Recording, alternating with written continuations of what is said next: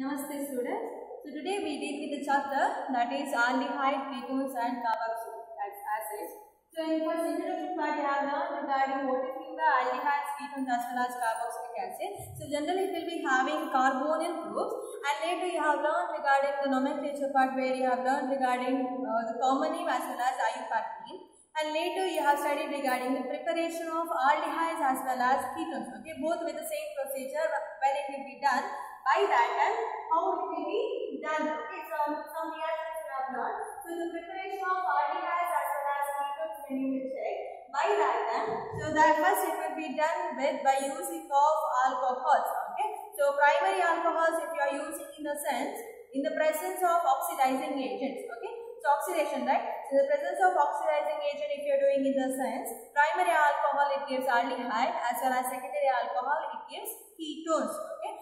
Later you have learned by using of catalyst in the sense catalytic dehydrogenation there by using of catalyst it can be like your silver or it can be copper in the presence of certain temperature the reaction will be done. There also primary alcohol if you are using in the sense you are going to get aldehyde. Secondary alcohol if you are using in the sense you are going to get ketone as a product but it should be done in the presence of or in the I mean in the presence of catalyst okay with a certain temperature. So that is the second process. Third process where you can prepare your aldehyde as well as ketone is nothing but by using of hydrocarbons. Okay. So if you are using hydrocarbons in the sense there major it goes with two I mean two steps. So it can be done with the ozonolysis. Ozonolysis is nothing but generally you are going to take uh, double bonded compound in the sense alkene you are going to take ozonolysis. Ozone you are going to add O3 you will be adding so that you are going to get a complex structure.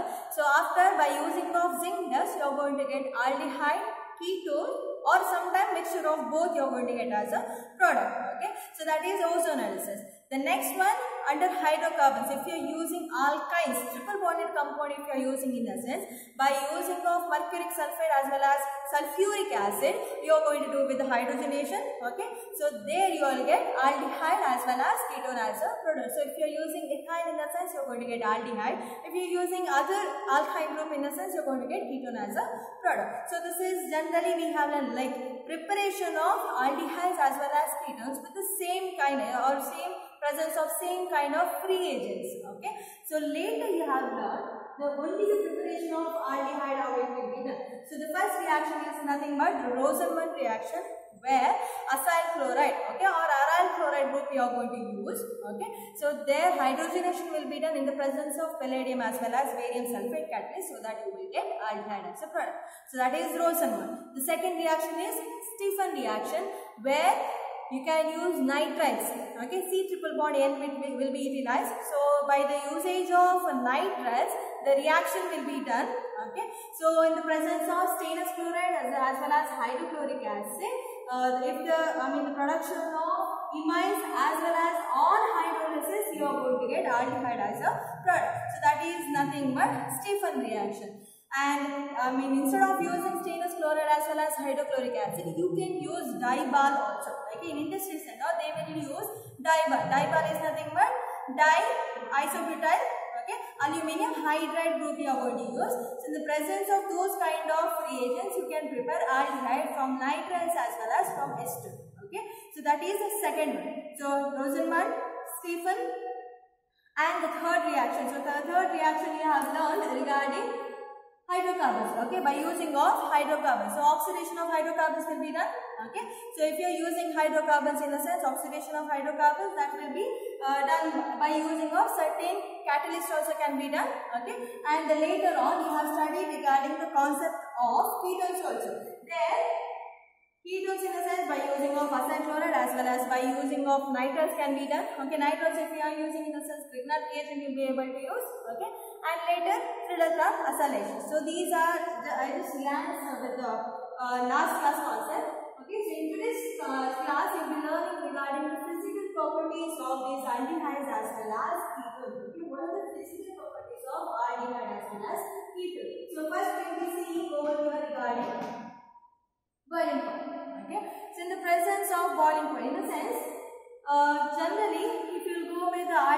as well as ketone. So when you compare with the general hydrocarbons, okay, so aldehydes as well as ketones are having higher boiling point when you compare with the hydrocarbon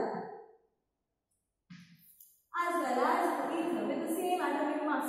Okay, where this is having same molecular mass, same molecular mass, mass come, if you will compare with the boiling point, so aldehyde as well as functional group kind of group will be having higher boiling point when you this, okay, that is why because this will be having higher dipole-dipole interaction. Yes, in the case of aldehyde, dipole-dipole interaction will be poor, okay. So due to that reason, it is difficult to break. So bonding bond, you need to give more and more temperature so that the bond should break. Okay. So this is when you compare the hydrocarbon. If aldehyde and ketone, if you compare with the alcohol, alcohol is having more of boiling point when you compare with the aldehyde as ketone. Okay. So this is why because in alcohol, alcohol in the sense will be having OH group, right? So here, by this, intermolecular hydrogen bonding will be high. Okay. So in the case of alcohol, intermolecular hydrogen bonding will be high when you compare with aldehyde as well as ketone. For that reason, alcohol will be having higher boiling point when you compare with these. So this can be asked with the reason. Okay. So for senior CVC also, I mean this question can be asked. And uh, regarding other property if you go, okay, the properties of aldehydes as well as ketones.